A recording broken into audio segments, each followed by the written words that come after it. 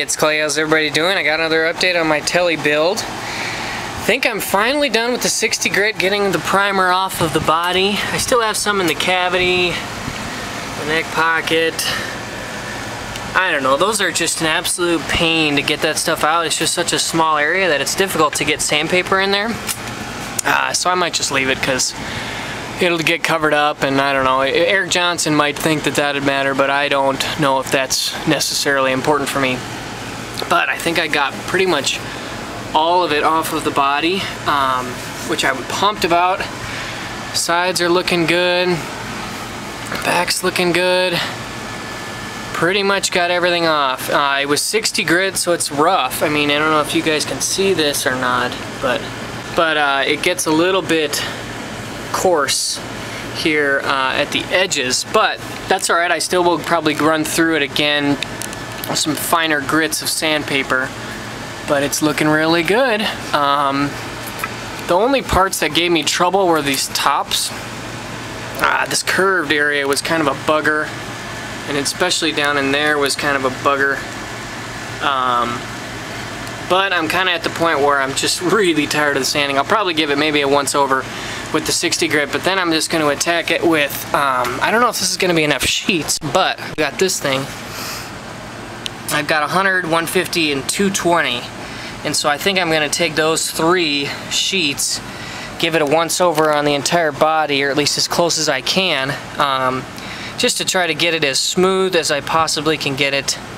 Uh, I also have some steel wool, so maybe I'll do a once over with that before I start with the Tru-Oil, but yeah, we're getting there. Um, I have an order of parts coming from Guitar Fetish, and that'll have the P90s. So then I can uh, probably do like a dry fit just to make sure everything is going to fit properly like I want it to.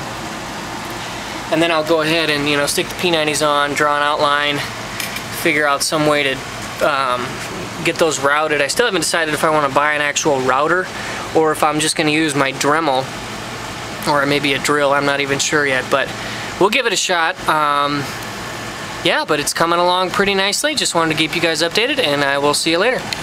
Alright, so I'm done with the uh, intermediate smoothing sanding. I uh, used this pack here.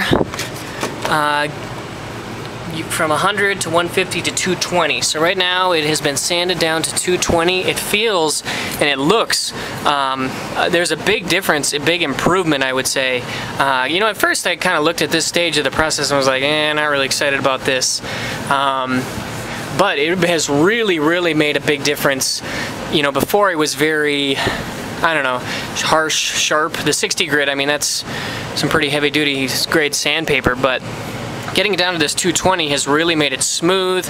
It almost feels like softer or uh, little bit lighter. I, I, I don't know, that's not the right word, but it feels a lot smoother, a lot clearer. Um, it just feels a lot better, and I feel like it's going to take the finish much, much better. So I'm glad, I'm really glad that I took my time and did that process right. Um, a little bit of a learning experience. There's a reason why people tell you not to sand against the grain, and I figured out why. Most of my problem was down here on this bottom edge.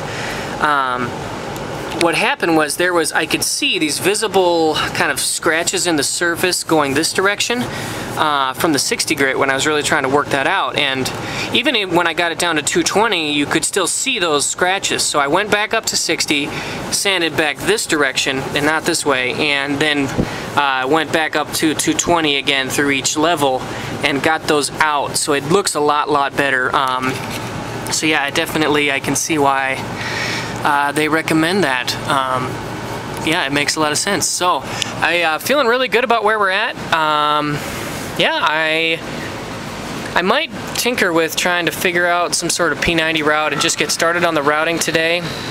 Um, but yeah, I guess we will see how things continue to progress. I'm pretty excited about where it's at right now and I guess we'll see how it goes out in the future. So uh, yeah, let me guys know if you have any tips or tricks or questions. Uh, just let me know. Thanks, I'll see you soon.